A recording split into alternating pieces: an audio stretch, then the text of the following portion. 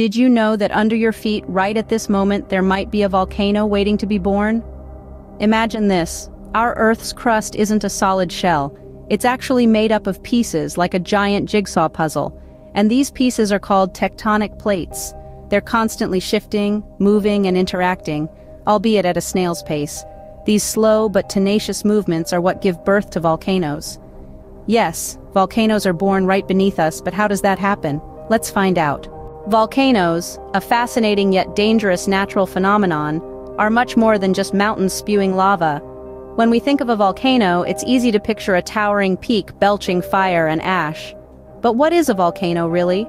A volcano is essentially a rupture or break in the Earth's crust. This crust, the surface layer of our planet, is composed of several large plates.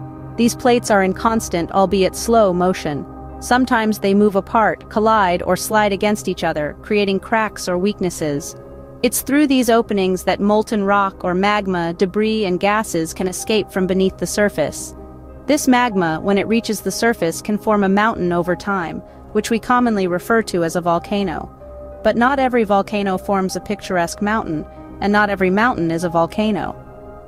So, a volcano is really a vent in the Earth's surface, but not all volcanoes are the same. While all volcanoes may seem similar, they are actually classified into different types based on their shape, size, and activity. Now let's delve into the three main types of volcanoes, shield, cinder cone, and composite, also known as stratovolcanoes. First up, shield volcanoes, named for their broad, shield-like shape. These giants are formed from low-viscosity lava that flows far and wide, resulting in a wide and flat appearance. Think of them as the gentle giants of the volcano world. Next we have cinder cone volcanoes. These are the smaller, angrier siblings in the family. They have steep slopes and are known for their explosive eruptions. They might be small, but they sure are fiery. Lastly, we have the stratovolcanoes. These are the tall, conical ones that you often see in movies. They're known for their violent eruptions, and their alternating layers of lava and ash make them a force to be reckoned with.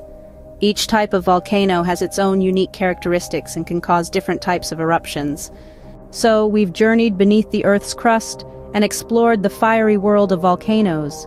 We've discovered that these powerful forces of nature are born from the movement of tectonic plates. We've defined a volcano as an opening in the Earth's crust, from which molten rock, debris, and gases are ejected.